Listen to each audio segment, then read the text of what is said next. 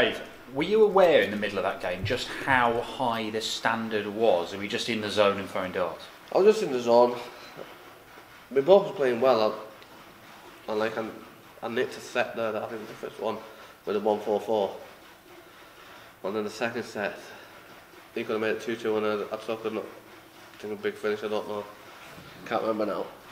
And then I thought, come on, you're, you're turning up here now. You stop throwing away and just keep, keep cool. That's what I did. And when he started coming back at me, I was like, oh, come on. And then they had the shots, uh, I blocked the stops three times. And then I lost some legs, and I thought, come on. So I thought, when I had the bullseye in that last last one, I had the 102 at 20, I said, I ain't going to top. So I ain't going 42, I'll go bull.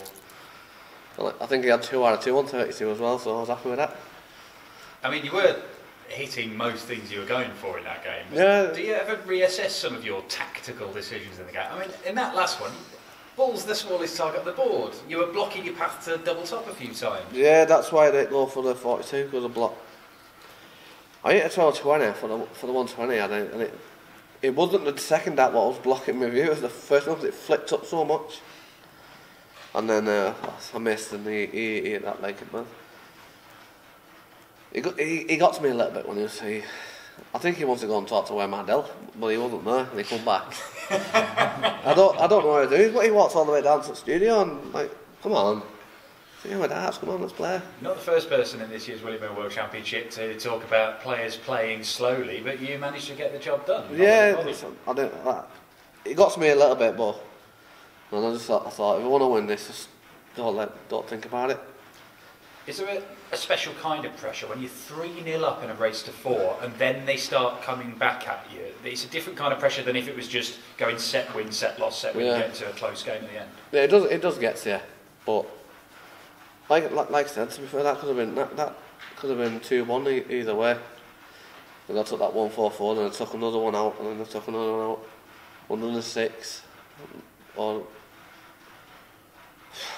one of them, innit? Well, you're through to the quarter-finals of the William Hill World Championship for the third time in your career. You must be glad Gary Anderson's not there waiting for you, because he's the guy who's beaten you the previous time. Yeah, well, I've got I've got Van Gogh, haven't Yeah. I? Van Gogh. I watched his game last night. It was mustard. Both of them, Joe Cullen, mustard. What? That's me losing this game. And unfortunately, it was Joe, but I'm going to relax that. To be fair, I think I'll play a little. I'll play better against Van Gogh this this time round because um, I know he's beat me a lot, and he- he'll be at, he'll be at my pace where I won't be slowing down. I'll just play my own game. So I think he'll do a lot better. The stuff you were throwing during that game there against Dimitri, do you think that's going to be enough to beat MVG on New Year's Day? Um, the finish was quite good actually, so could be. Could be.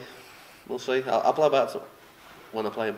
So many times in major tournaments, you've gone there, played absolutely amazingly, then you've run into it. It used to be Phil Taylor, then it was Van Gerwen, here it's been Gary Anderson. It's all-time greats in the quarter-finals. Yep. And you've been left walking away going, I've given a great account of myself, but I haven't gone any further. That time that changed next year. Yeah, I got a message this morning on my phone, uh, four years from four years ago, me, me and Gary. Like, it, it pops up on my newsfeed and it says, um, I, I lost five, five three quarters and I hit 21 180s to East and how did you lose with them? you know what I mean? But Anderson played out with skip. So and that, that's gone now. So That's gone. I'm just looking forward to the to quarterfinals now. As a week, we'll see you in 2021. See you, Paul. Thank you. Dave, congratulations. Just touching on the, the pace things, obviously it's been a lot made of it with Gary and over this week. Do you think players, not just out there, but are doing it too much in general at the moment? Yeah, I, I, to be fair, for me, if I, if I did that, it just put me off right away. I just want to get up, throw, get back, up, throw, get back. But I don't see the point of wa- walking all the way down to the other studio and coming back and I'm going to shot at double, and then he missed.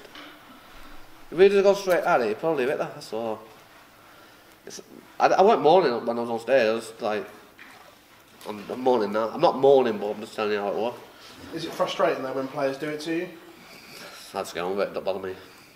Eh, eh, it, it, because because they're coming back at you, they're doing it. You're thinking that in your head when you're up there, but when you win, it's all gone. It's all gone. Agreed. and like Dan said, quarterfinals have been the stumbling block. But is this the best version we've seen of you here, the way you're playing the first two games? To be fair, like like I said about before, the four years ago, this time up came up on my on, on my phone. And it's, I was I was playing well then, but I think this is probably the best I've come into the World Championships. I feel so confident in myself, so bring it on. Dave, pleasure as always. Thank you very much. Thank you, cheers. Dave, I'm sure there would have been people before the tournament not expecting you to produce the darts you have, but did you believe from the start that you'd be where you are now? Yeah, I, I thought I'd be where I am. Li- Listen, 2020 has been rubbish for everybody. Like, we've all took it different ways, and like, I'm not had the best. I'm not normally for me on my darts is from September to December Yeah. is good. Well, I've been poor, and everybody knows that. But I've just gone on the board in this lockdown and practiced, and, and, I've come to the walls and. and I, I even thought to myself I'm playing well.